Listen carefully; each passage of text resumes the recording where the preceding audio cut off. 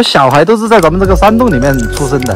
住在山洞里面有什么不好呢？我这洞里面有一条地下暗河，常年都有水，河里面还有鱼。年轻的时候也到外面去打工，去过广州跟深圳，一个月工资两千三，但是不适应社会上勾心斗角的生活，感觉很累，就决定回来。我这个山洞里面冬暖夏凉，常年恒温十三度，住起来非常的舒服。平时的话自己种菜吃，想吃肉了就去洞里面抓条鱼来吃。过年杀猪做大肉。我并不是性格孤僻，有很多朋友到我这里来，我都非常欢迎。我只是不喜欢社会中啥事都勾心斗角，感觉没意思。朋友之间就很简单啊，诚心相待多好，你说是吧？